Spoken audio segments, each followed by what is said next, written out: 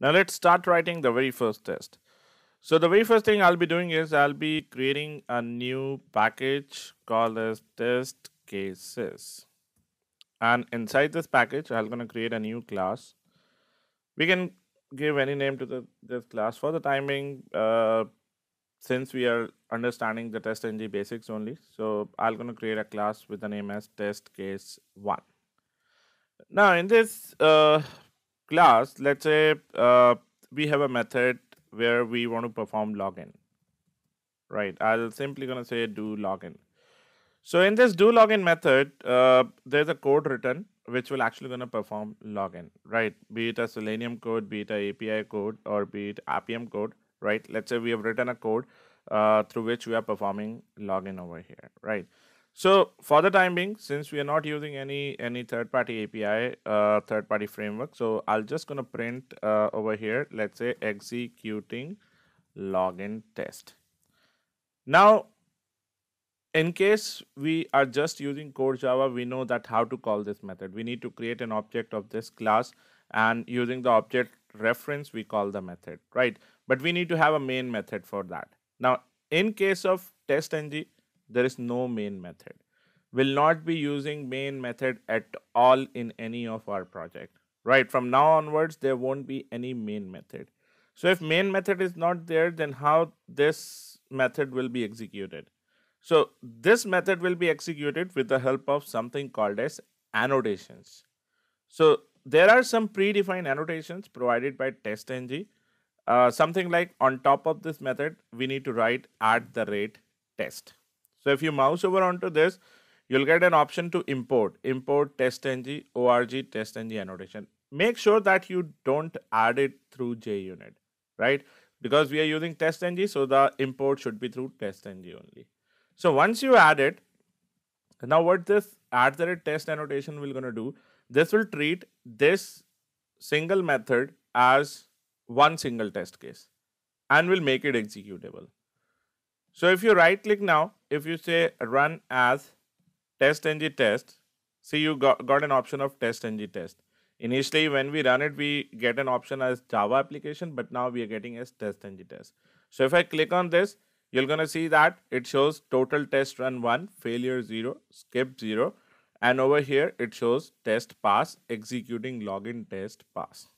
Right. If you see over here, you're going to see everything in green and green represent that the test is passed. So now this code is converted into a test case.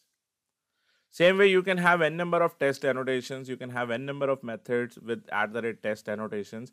You can create one more method that says uh, at the rate test do user registration.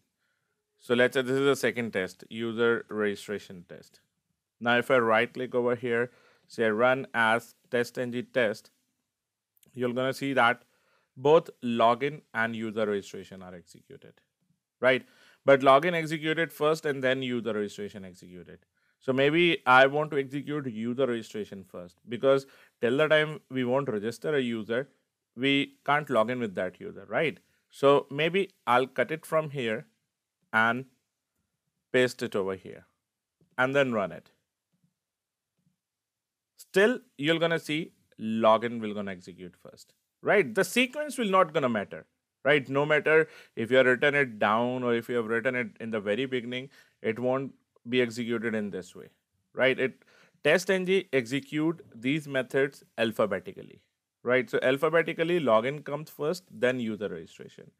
If in case you want that user registration should execute first then you can define a priority to this test so you can say priority equal to 1, 1 being the highest priority. Same way to the second test, you can say priority equal to 2. Save this, run as test testng test, and you're going to see that user registration executed first and then login executed. Right? This is how you'll be defining priority to your test cases. Now, at times, I want that uh, uh, I want to do some action before every test case. Let's say if you're working on Selenium, then I want to launch a browser before this test as well as before this test. So I'm gonna write uh, a method. I'm going to create a method. Let's say launch browser. And inside this, I'm going to write some code for launching browser. So what I'll do on top of it, I'll write something called as at the rate before method. Now this is another annotation imported through org test annotations. So what happened when I run this, it will gonna execute before every test case. You're gonna see launching browser, executing user registration test, launching browser, executing login test, right? So before method we're gonna run before every test case. Same way if I want after launching browser, after, uh, I mean, once the browser is launched, test case is executed. After that, I want to close that browser. So after every test execution, I want to close the browser as well. So I'm going to create another method for the same public void close browser. Inside it, I'm going to write some code for closing the browser.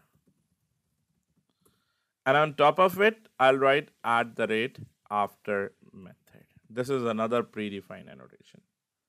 So import it, save, right click, test ng test. And you're going to see launching, executing test, closing, launching, executing test, closing. Both test pass. In your report, in your result, you're only going to see your test cases. Two tests run, both are pass. Right? Same way, uh, what I want to do in this class, before any test executes, I want to create a database connection. So like there, there should be a code for creating DB connection. Creating DB connection. And there should be a code for closing DB connection as well. Close DB connection. Let me just create DB connection. Right, so inside it, I'm gonna write a code for closing DB connection. On top of it, I'll write at the rate before test. On top of it, I'll write at the rate after test. So before test is the very first thing that will be called inside this class. And after test will be called after executing all your test cases. So if I run this, and this will be called only once, not like before method before each test. It will be called only once. So database connection will be established at the very beginning and at the end database connection will be closed. Right? So this is how testng actually works. Testng works with the help of the these annotations. These annotations define the flow of your code that you have written. Which thing to call first and which thing to call after that right so this is a very basic concept of testng which you cannot implement it using the core java main method that is the reason this framework is required this Java framework is required because the actual projects that are being built up are using TestNG only, right? You need to use at least a one Java framework uh, or uh, a test runner in order to convert your existing code into test cases or test suites. And TestNG is what which is very widely used in the industry, right?